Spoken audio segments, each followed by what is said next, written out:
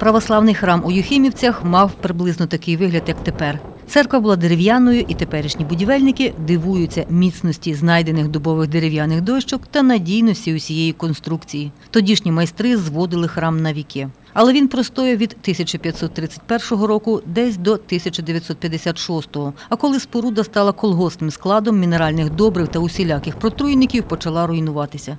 Тривало так 60 років, аж доки місцевий хрещений люд не вирішив відновити свою святиню. За справу взялися добровільно всі, хто міг. Багатші давали більше, незаможні жертвували скільки могли або працювали на будівництві. І тепер храм Святої Трійці майже готовий до головного освячення. Майже, бо роботи ще досить багато, а грошей завжди мало. Проте громаді йдуть на зустріч. Скажімо, розпис стін та стелі. Художник із Києва виконав частину робіт за вчетверо дешевше.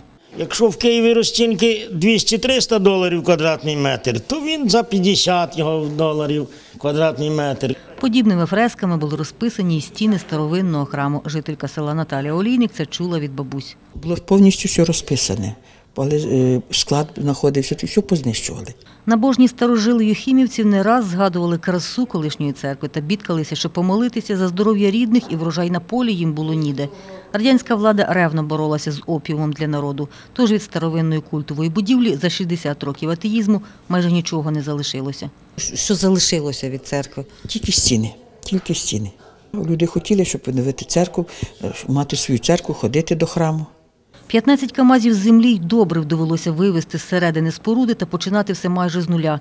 Зате тепер, коли храм зведений, селяни не натішаться і не надто переймаються, чи вдасться розписати фресками всю церкву. Якщо вистачить фінансів, а в нас їх е, громада, так це сума непідйомна. Усі будівельні, ремонтні та оздоблювальні роботи виконані за пожертви. А оскільки благодійників виявилося дуже багато, ніяких спеціальних дощок з іменами меценатів вирішили не встановлювати. За виписаним у Біблії правилом, нехай ліва рука не знає, що подає правиця.